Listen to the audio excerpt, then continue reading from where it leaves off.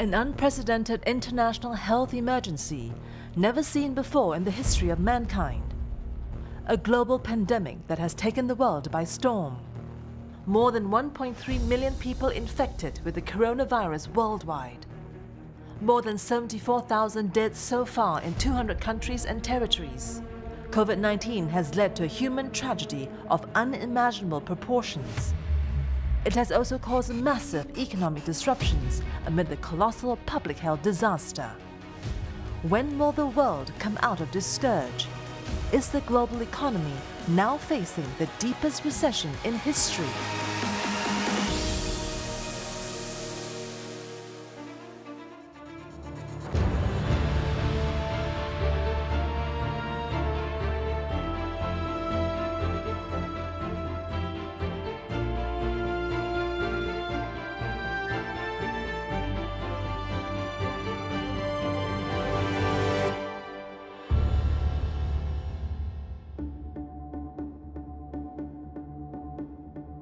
All started late last year. That was when the COVID-19 virus first jumped from animals to humans in a wholesale seafood market in the Chinese city of Wuhan.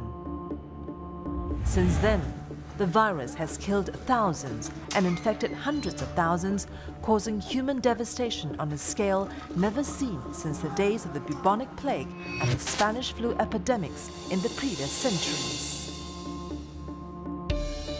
The pandemic has now spread across the globe, forcing governments to impose lockdowns, curfews and other emergency measures to contain its spread. Apart from the health crisis, the total costs of the economic disaster are incalculable. Flights have disappeared from nations' skies. The hospitality industry is in doldrums, and with supply chains thoroughly disrupted, the world is now staring at an economic crisis of immense proportions. The economic impact is tremendous. The economic impact is going to be massive. We haven't seen this before. It is unprecedented. The fact that the virus first hit China, known as the factory of the world, deepened the crisis. As the epidemic erupted in late January, China first imposed an immediate lockdown in Wuhan and factories extended their Lunar New Year holidays. Supply chains were disrupted and the Chinese economy took a major hit. We've seen the, the, the very severe impact in terms of China's economy. Uh, the most recent economic data that we've seen on China suggests that in the first two months of this year, China's economy effectively came to a standstill. So that has had knock-on effects throughout the rest of the region, through supply chains being disrupted, through disruption to Chinese demand as well, because China is now a major export market for a lot of countries in the region. Unfortunately, the disease broke out in, uh, in Wuhan, which is a very key logistics and delivery center for China in that sense. And that resulted in a complete disruption of the global supply chain. And of course, China being one of the biggest exporters and manufacturers uh, economic activity was impacted uh, very, very badly. Though not typical of a virus that has just jumped from animals to humans, it is transmitting at an alarming rate, infecting hundreds of thousands across the world. An average person with the infection can pass it on to several others, and its mortality rate is also far higher than the seasonal flu. The combination of the virus's ability to spread quickly and cause serious illness has led to uncertainty and panic. China took the brunt first, with some 83,000 cases so far and more than 3,300 deaths.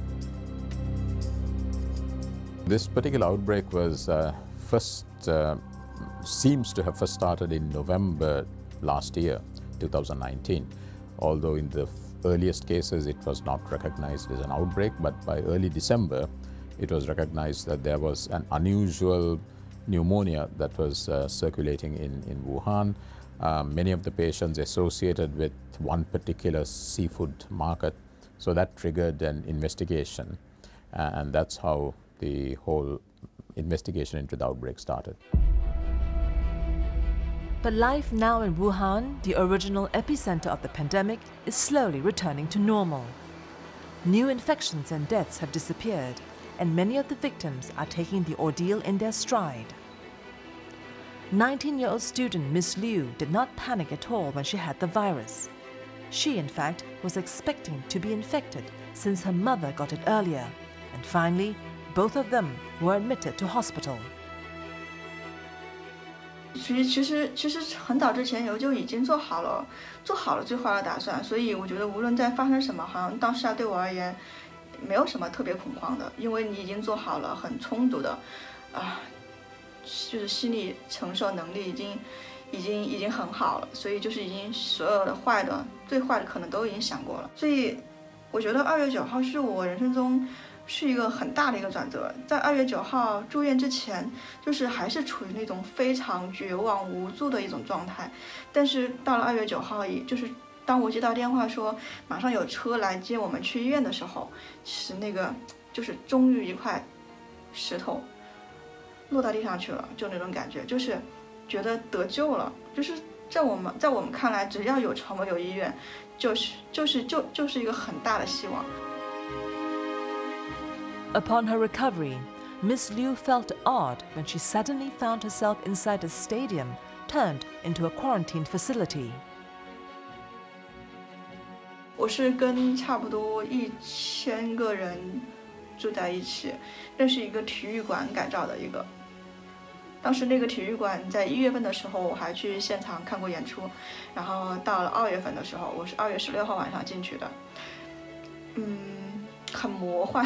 就一个月的时间，就发生了这么多事情，所以当时进去的时候，其实是心里有点有点抵触，因为也其实也有点害怕，因为第一次看到那么多人就跟我一样感染这个病毒的人，然后当时心里是是有点恐慌，说会不会被再次感染。后来过了两天，就慢慢的这种这种这种就是想法就会越来越越来越少了，因为医生也给我们有有说过说，其实我们大家体内病毒是一样的，因为我们都是轻症的感染者，就是不太容易说再会被相互感染。Those who are free of the virus are slowly regaining their health, but the impact on the health of the economy has been colossal, even for China. The lockdowns disrupted all sectors of the economy, causing a cascading effect across the globe. The world's second largest economy was already slowing down in the last quarter when the virus struck. COVID 19 just brought the economy almost to a standstill. On a short term basis, where China is concerned, uh, we've actually downgraded China's growth to 1.5% for 2020. At the start of the year, we all thought China was going to grow at about 6 to 6.5%. So the economic disruption on a short-term basis has been tremendous. China's economy now accounts for around 20% of the global output, unlike 4% in 2003 when the SARS epidemic had erupted in the region. It has also become the world's factory, churning out products ranging from phones to automobiles, determining the world demand for commodities such as oil and copper. China only had like 463 million people living in the cities. Today, China has 823 million people living in the cities, right? Uh, in 2003, we didn't have so many budget airlines. Today, we have budget airlines all over the place, right? So people can travel with relative ease across countries, across jurisdictions, across all time zones. And that basically means that, uh, that the infection levels are always likely to be a lot higher today compared to before. As the virus sweeps through China, the hardest hit sectors include airlines, automobiles, tourism, and hospitality.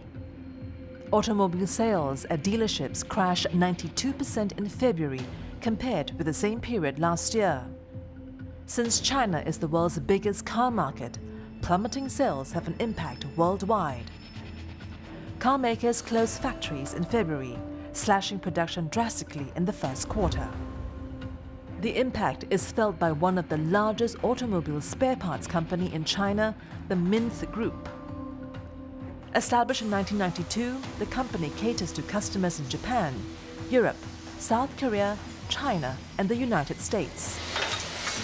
55-year-old Liu Yanchun, Chief Operating Officer of Minth Group, admits that the company was totally unprepared for the crisis. 这么大的疫情没有超出我们原来的想象，当时我们也有很多危机的处理的这种预案和方案，但是这个疫情影响确实范围比较大。那主要是影响的范围是这样的，就是开始呢，这个之前的阶段是中国的主机厂，然后供应链受到很大的影响。那本来是到接下来是中国的主机厂在逐步恢复，然后呢，接下来是海外的主机厂受到一些影响，和供应链都受到一些影响。Minth has drawn up an emergency response plan and is trying to cope with the crisis as best as it can. Being a large group with several units across the nation, it has so far managed to avoid layoffs.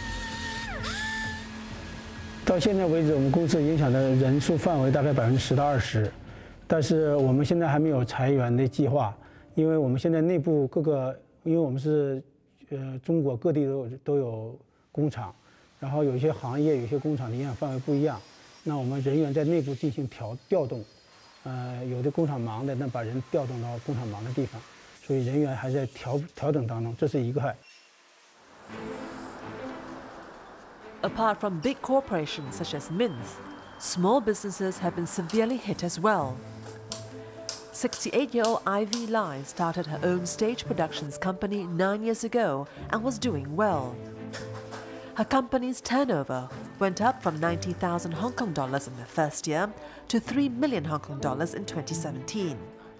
Then, the nightmare scenario emerged. 我哋我哋嗰个时诶时间表咧，全部 mark 到实满晒㗎啦。圣诞节跟住诶一月啦，一月就都忙。咁啊喺应该年廿几嗰时咧就完晒啲 job，跟住就年初几会开㗎啦。 但係咧喺年廿幾時已經開始開始話出事啦嘛，香港或者誒有有有疫情咧，就之前都有聽過嘅，但係就大大陸嗰度傳出嚟話有有啲有啲疫疫情啊咁樣，但香港政府就冇乜嘢用。跟住咧就誒、呃、年廿幾開始開始就緊張啦。結果咧，我係今年嘅年初一係二月一月廿五號，好似年初一，我收到嗰啲客嘅電話啦。 本來我 cut 啦 cut 啦 cut 啦，全部啲 job 咧話俾我聽停啦停啦，我唔做啊。因為年初一林鄭月娥即係政府咧喺電台宣布嚇啊，亦已經確認咗有疫情啦咁樣。同埋咧，我哋嗰啲誒誒康文署嘅場地都會閂。佢喺毫無預防之下一講咧，所有客人嗰啲 job 都 cut 晒。我二月份咧總共有廿五個 job。The pandemic has sent the world economy into uncharted territory. The virus has now spread from China to other parts of the world, especially Europe, where it's leaving behind a trail of death and economic collapse. Italy, Germany, Spain and France, some of the biggest European economies, are shell-shocked from the ensuing human and material devastation. How long will this spectre haunt the entire world?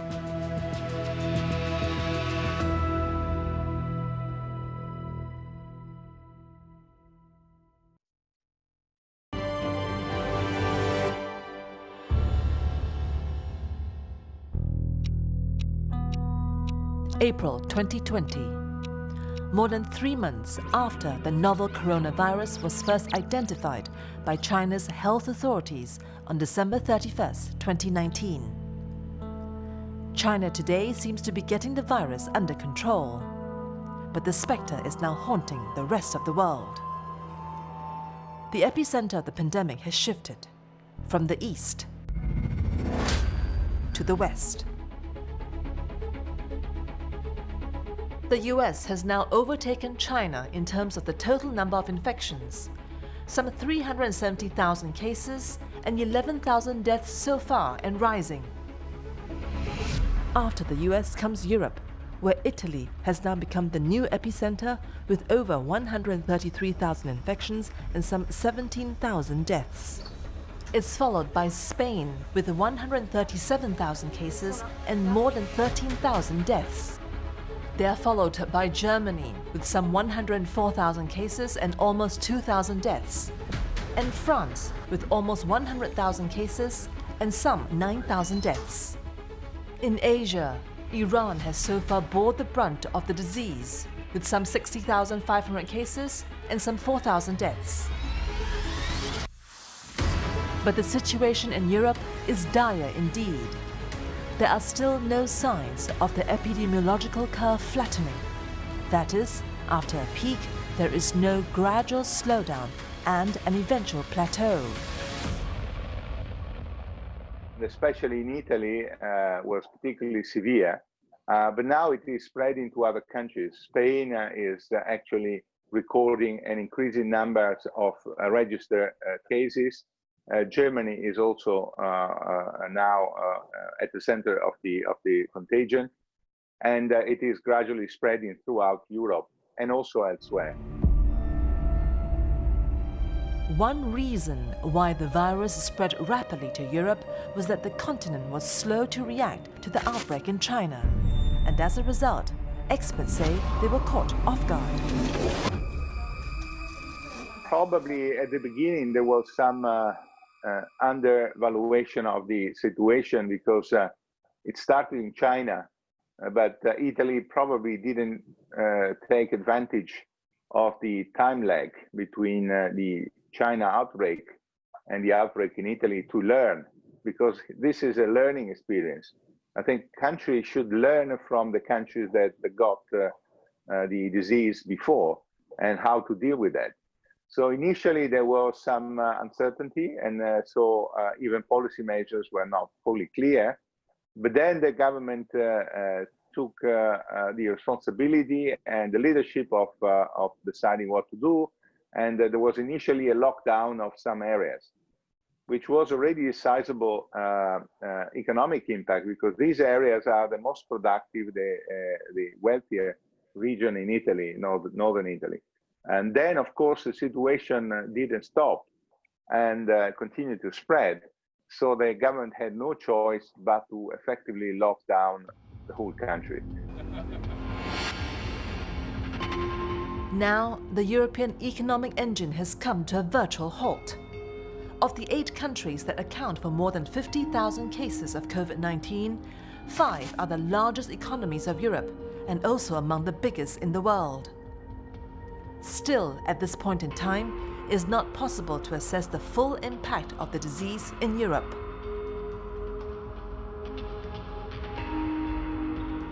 It really depends on the infrastructure and the ability of governments to actually to mobilize the entire economy. Uh, in, in, in the Chinese example, you saw that it could move very, very quickly, right? So they locked down a city, the entire province of like 65 million people within a matter of like two days and they were very, very effective in enforcing the lockdown itself. Um, in Europe, you have problems with that because of the fact that it's a European Union. You have freedom of movement, freedom of labor, freedom of capital across all countries. So enforcing that within Europe itself is going to be a lot more difficult. Where European infrastructure is concerned, with the perhaps the exception of some of the northern European countries, infrastructure in the other European countries is not up to the kind of standards that we would think they should be. If you have a weak link in your infrastructure where healthcare is concerned, it will be exposed, and not only will it be exposed, it will be multi multiplied uh, uh, many times over. The economic impact is going to be massive because uh, if you think about the uh, downturn that was already in place at the end of last year, that was basically the result of trade wars and uh, um, and uh, collapsing confidence, lack of investment, and so forth. Italy was already contracting, the Italian economy was already contracting at the end of last year. I think Italy uh, has been severely hit uh, and uh, and it's gonna be uh, and probably the impact is gonna be in the order of 10% again uh, in the first uh, two quarters of this year overall okay cumulative and and then there will be some recovery in the second half so the overall outcome for the year I think is because between minus six and minus eight percent for Italy. Uh, the rest of the of Europe depends how the situation unfolds, but at the moment it looks like it will be as severe as in Italy. So uh, my guess is that the same uh, magnitude uh, will apply to other European countries and overall for Europe. The moment you have lockdowns in an economy, the economic impact is going to be huge and there will be companies that will go bankrupt, there will be airlines that go bankrupt, there will be people losing their jobs. And Europe is several weeks, if not months, behind where China was. So you're probably now in Europe talking about a period that's going to take you through at least until the end of May before you start seeing some form of recovery and some form of return, return to normalcy in the economies. Though the virus has impacted nearly all industries, some are facing a more serious threat than others. One of them is the airlines and travel sector. Tens of thousands of flights vanish from the skies in weeks, impacting already struggling economies. From late January to the middle of February, daily departures and arrivals for domestic and international flights in China dropped to just 2,000 from some 15,000. Chinese travelers account for about 20% of all tourism spending, according to the UN World Tourism Organization.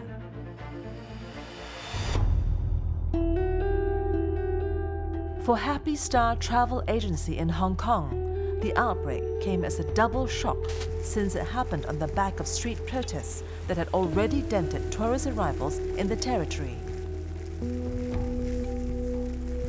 Joyce Fung, manager of the Happy Star Travel, hadn't seen business so bad even during the SARS epidemic. Now, most travelers have cancelled their tickets or have postponed their plans. 我哋其实好多年前咧都面对过诶、呃、疫情嘅咧系有经验嘅。喺二零零三年咧沙士嗰阵时咧都系有一个咁嘅疫情啦。咁大概我哋咧都系诶、呃、维持咗两个月到嘅。啊，咁 但係今次呢個咧就比較誒、特別啦，因為之前已經係有呢、個誒、暴動啊嗰啲，咁而家再加埋呢個疫情咧，其實咧就係即係誒雪上加霜嘅。啊！咁就誒、我哋咧誒發覺咧就響誒一月嗰陣時咧，其實初初咧就係個生意好翻好多嘅。咁但係後尾咧，大概月中度咧開始咧就係知道有呢一個咧係誒 疫情嘅發生咧，就開始啲人咧又擔心出入啦，咁就開始咧就誒係延遲咗嗰個旅遊嘅。咁但係後尾咧係過咗年，同埋咧就係武漢嗰度咧開始封城咧，就啲人咧就開始咧就係話要咧誒取消啊咁樣嘅。我諗誒大概有八十個 percent 咧係 cancel 嘅，二十個 percent 咧就係延遲嘅。 The restrictive measures adopted by China and other nations have helped delay the spread of the virus. But the nation's increasing isolation could have lasting economic consequences as well. Economies are shrinking, and it will take months to get back to normal once the virus subsides. Asia has also been virtually locked down, with countries adopting emergency measures, both economic and social, to halt the spread of the disease and pull the economies back. Will these measures work?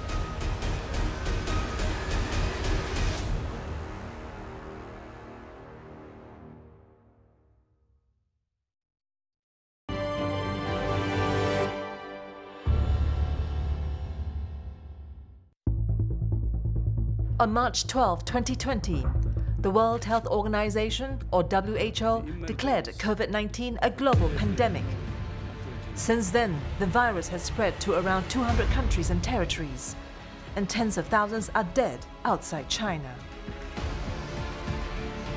Manufacturing, trade, consumption, production, and the movement of people have been greatly affected and in many cases halted. The economies in Southeast Asia have been especially hit hard since all of them are closely linked with China. There was a lot of dependence upon trade with China, either trading to China or taking goods from China to feed factories in the system in Southeast Asia. So the impact was already being felt. China was closing down and shutting down. Trade for ASEAN was already falling through the floor. So that's a big problem. The region itself, I think Singapore has been tackling the virus extremely well. They're on top of it from the very beginning. They've been taking measures. The contract tracing here is probably the best in the world. Um, it helps being a smaller country, actually with good systems in place and learning from previous experiences. The rest of Southeast Asia now is playing catch up. And I think a lot of them didn't quite believe how bad it could become or didn't quite believe that it was going to be a big issue. So someone like in Indonesia has been pretty slow at reacting, and now he's gearing up. 44 year old Calvin Sim is the head of a Singapore based semiconductor equipment maker, WF Industrialopolis. The company has supply chains across China and other nations in Asia. Just like everyone else, Sim was caught totally unawares by the sudden outbreak in Wuhan or how damaging that could be for his company. Things took a dramatic turn for the worse just overnight. His order book, which was overflowing last December, went to zero in two months. Before the new year, in fact, um, towards the second half of last year, we were getting inquiries um, for budgets to be approved um, beginning this year or after Chinese New Year, everybody was um, pushing towards the first quarter of this year. But all these inquiries started to have delays in approval because um, when January came, um, December, January, when the thing hit, all everybody was it was in chaos. Um, to, to, be honest, millions of dollars have been uh, held up uh, in terms of purchase orders because of this virus. From January onwards till uh, the Chinese New Year period and till now, there has been zero inquiries. Sim, who has 38 employees in his small-scale enterprise, has still managed to keep his head above water, at least for now. Employees have been asked to work from home, and none has been asked to leave. So far, fortunately for ourselves, uh, we've been good. Um, no layoffs, no job losses, just a, a one or two um, hit hit with the stay home uh, notice um, or quarantine measure. Um, they were traveling previously uh, when they came back after the Chinese New Year. They had to be quarantined for 14 days before they come to work. Um, that disrupted my my my operations and and besides that, I think um, everything is still intact. But the reality is, the economic contagion is spreading just as fast as the disease itself. Governments in the region are now scrambling to mitigate the impact of the crisis. Singapore has unveiled another 3.6 billion US dollars in stimulus package to soften the economic damage from the ongoing coronavirus outbreak. Together with the previous two packages, it has now set aside almost 42 billion US dollars or around 12% of its GDP to help businesses and households tide over the month-long partial lockdown and stem the surge in COVID-19 cases. We've downgraded Singapore to a recession as well. We expect Singapore's growth to come in at about minus 7% this year. Other Southeast Asian nations are also facing a deep economic crisis. Malaysia has also announced an economic program to cushion the impact of COVID-19.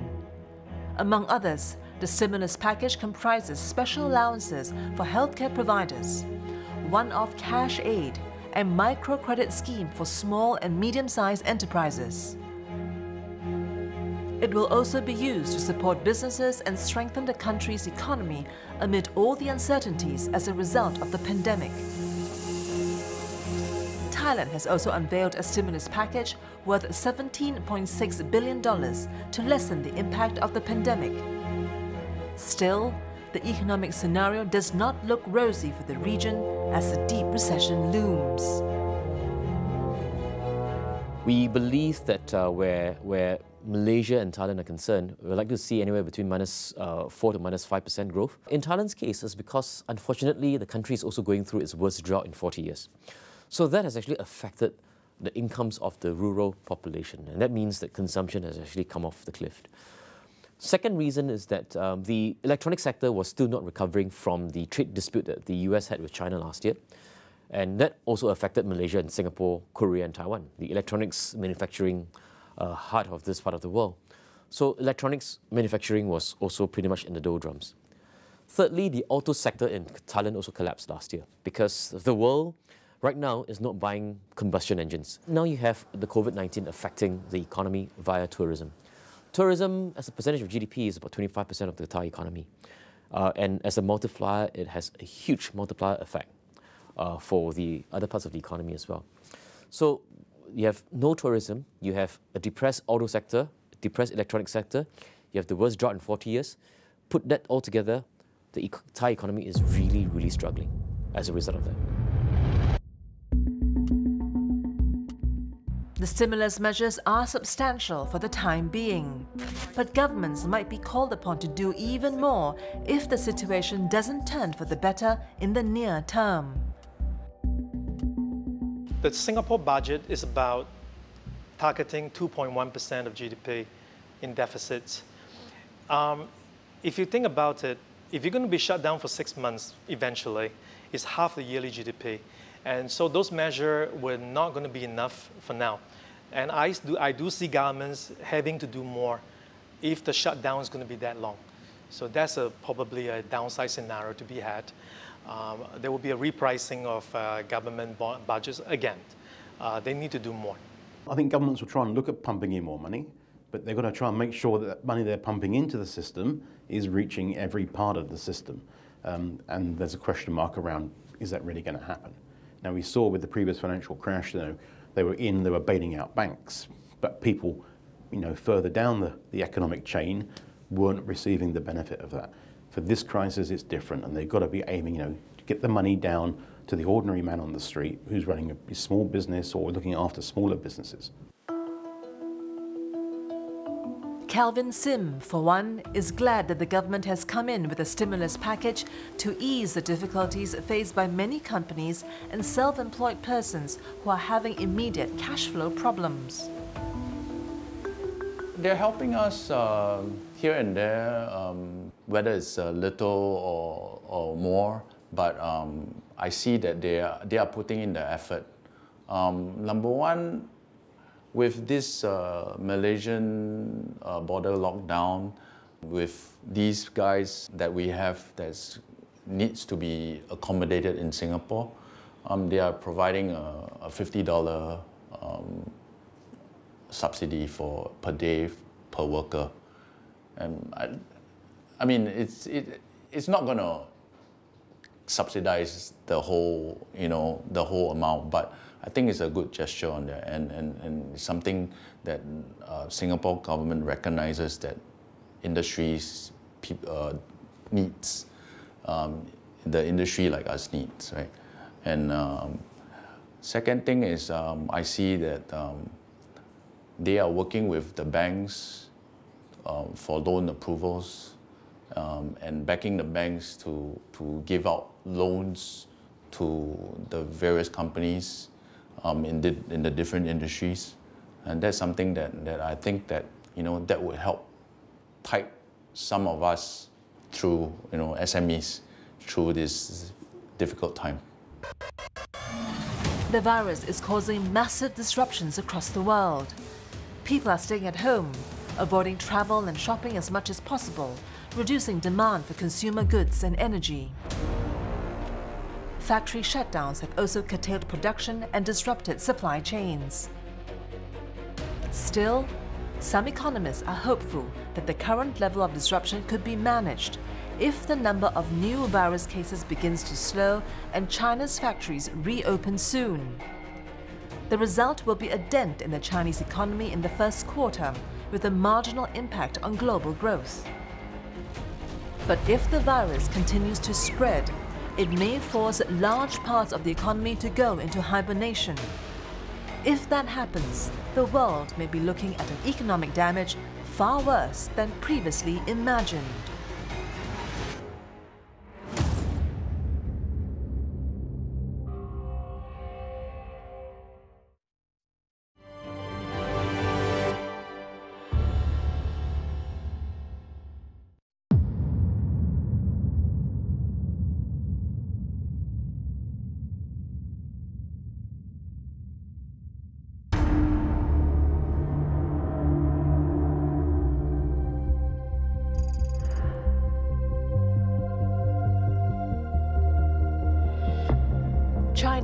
Where the virus originated, is picking up the pieces after the pandemic swept across Wuhan city and Hubei province. Factories are slowly opening and supply chains are getting restored. The country has also reported a flattening of the virus curve, even if it hasn't been able to halt the spread of the deadly disease completely. The fact is, the COVID-19 pandemic has exacted a heavy toll on the country's economy and finances.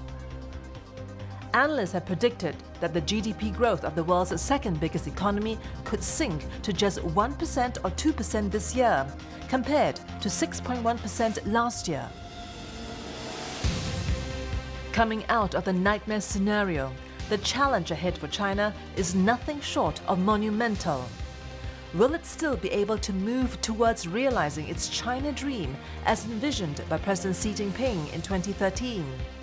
will it still emerge as a prosperous and dominant global power? I would say do not um, underestimate the ability of the Chinese to be able to come out from this one.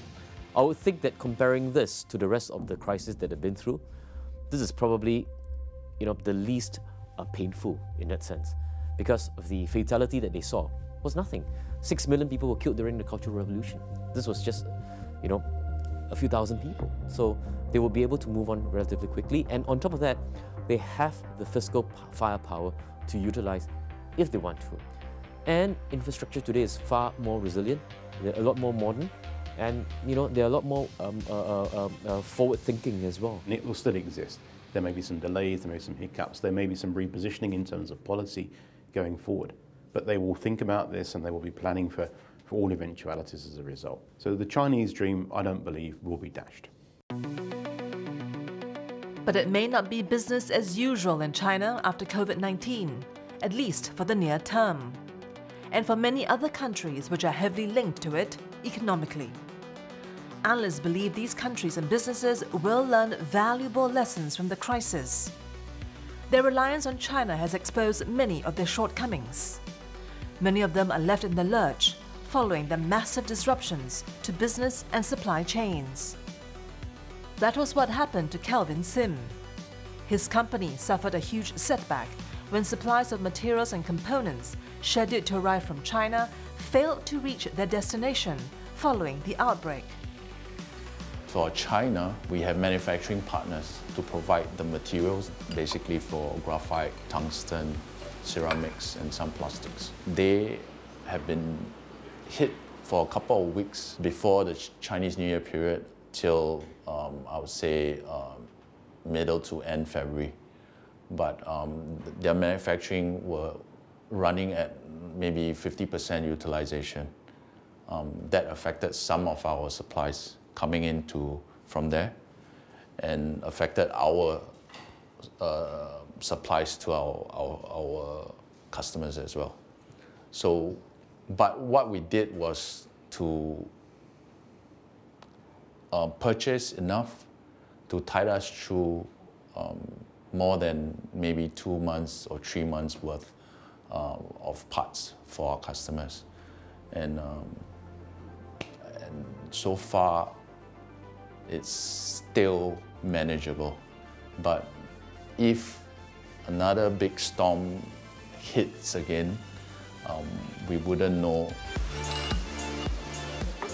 Analysts believe that the only way to get around the problem is by diversifying production facilities and supply chains and not source a large chunk of their goods and materials from China. This is uh, true in terms of global supply chains. It's also true uh, domestically. Uh, in other words, you have to put in place contingency plans at company level uh, to try to avoid uh, any such uh, situations like the one we are we are in right now. although I have to say that, that this is really unprecedented. The next crisis will be different. So, you know, it's, it's, it's always very difficult to to put in place measures to cover and to uh, be ready to respond to any crisis in the future. Even before COVID 19 struck, the US and China were already involved in a bruising trade war that had not only taken a toll on the economies of the two nations, but also on the entire global economy as well. But just as Washington and Beijing reached a phase one trade deal in January, the virus struck, wiping off all the expected gains from the easing of trade tensions between the two largest economies. I think that has the impact of lowering growth. Um, if not for the trade dispute, growth would have been at about 6.8 to 7%. But because of the trade dispute, growth was lowered to about 6 to 6.3%. Um, with this crisis, uh, with this COVID 19 situation, growth is now likely to come in at 1.5% for this year, before rebounding next year to about 4.5 and then eventually to 6%. Although US China trade reduced, China trade surplus from US reduced, but China's trade surplus from European country, from ASEAN country increased. So the whole overall trade surplus is still maintained at a similar level as last year or 2018. Um, so um, if you look at the trade figure, uh, what affects China trade is not the trade war, is the, is the uh, disease, is the virus. Because January, February, we run a trade deficit. China normally will not run trade, monthly trade deficit. Very rare, but in January, in February, we have trade deficit. But it's not due to trade war because trade war has been there for, for over two years. Uh, but it's due to the, the, the, the, the virus. Although China may have found the light at the end of the tunnel, other countries are still struggling to get ahead of the coronavirus. The US has now overtaken China in terms of the number of cases. Europe and the rest of Asia are reeling from the onslaught of the disease. Stock markets remain volatile. Oil and gas prices have also fallen. Though the oil price crash was driven by Saudi-Russian rivalry, the outbreak has added to the gloomy scenario all around. At this point in time, um, it's not just stocks markets that's falling. Even protective assets such as US government bonds, uh, gold are falling. And this tells me there's a sign of forced selling because of margin calls, because of leverage in the systems. So it's indiscriminate selling of any asset classes that's happening right now. It has moved on from the stock markets. Uh, the impact of the virus, the disruption of supply chain to businesses and to people who has borrowed money uh, is clearly evident right now today. For small business owners, recouping massive losses is a major challenge. They may take months to regain the position they were in before the crisis hit. I think for our industry, especially the local wafer fabs, we will be hit probably the, the next quarter or three months down the road um, when the rest of the industry get hit first. Um, and that would set us back probably half year to one year in terms of um, manufacturing, in terms of technology advancement, advancement R&Ds, and things like that Um, that's, that's basically um, how I feel that this industry will be hit. Ivy Lai, the owner of a stage productions company in Hong Kong, is living on hope after the outbreak wiped out all gains she had made from her business. She's expecting the crisis to blow over in a couple of months, or else she might have to close shop. 如果而家个经济落去真系咁样嘅话咧， 我諗我公司去到六月度咯，六月度我就會覺得誒好、呃、大嘅危機啦。咁但係當然我都唔想執咗佢啦，係啦，咁誒、呃、有啲咩方法我都諗唔到有咩方法。我希望咧係捱過咗呢一個階段，令到我能夠誒、呃、繼續生存落去。我有信心。如果呢個風潮過咗咧，我公司係誒相對地啲客源係好啲，會穩定嘅。 How soon will businesses return to normal? Will China and the rest of the world be able to bounce back from their worst economic nightmare? If so, when? At this point in time, the outlook looks rather grim. The disease is rampaging through Europe, the US, Southeast Asia, India, and other nations. Most of them are under partial or complete lockdowns, disrupting lives and livelihoods of hundreds of millions of people. The International Monetary Fund has warned the global economy is heading for a recession. It may be as deep as the one in 2008 or worse. I think it's far worse because it's affecting much more of the economy as well. So, you know, at the moment you've got airlines basically who aren't flying, airlines will go bankrupt. That will mean airports will, will lose money. That means other parts of the economy are going to lose money. You're seeing entertainment and social activities come to zero. So bars, restaurants, pubs, clubs, cinemas, theatres, sports complexes, they're all going to be losing money and people will be losing their jobs. It's going to be far more far reaching, I think, than the 2008 financial crisis. I think it will be worse, to be quite honest, because 2008, it was a severe economic disruption and uh, financial disruption uh, that uh, affected the real economy. Uh, but today, uh, the uncertainty is bigger to some extent because uh, it's something that is beyond the, the control of policymakers. I think the, the key consideration is going to be how long does the economic disruption from the coronavirus outbreak persist? Uh, and that will add to a number of factors which are building towards uh, a global recession. So it's not our base case at the moment, but we see the risks certainly building there. The economic impact on a short-term basis could be as bad, if not worse, than what we saw in 2008. But in 2008, that was a situation that took four to five years to reverse because of the damage to the financial system. Um, this situation around, um, I highly, highly doubt that it will take us as long to recover from because of the fact that you know the financial system is pretty much intact. Once you can get capital freely moving, again, when you can ease the liquidity constraints, when you can ease the dollar shortage in the system, you know, things will come back to an even keel.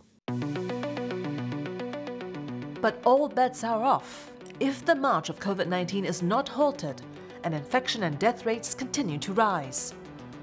Some experts even wonder if there will be a second or a third wave of the virus. What does the future hold for other nations in the near to medium term? No one knows for now. I don't have a crystal ball. Um, but I do have a lot of historical extreme scenarios to learn from. Um, and learning from those crises that we've seen back to early 1900s, um, the final destination is clear. We have seen this sort of crises before. It feels like doomsday when you're in it, but the path eventually is a recovery. The way of getting there is unclear. Don't discount the fact that the normalization can be very quick uh, uh, uh in that sense. And if it's very quick where the normalization is concerned, then the hit, the global economic hit may not be as severe as what we are fearing.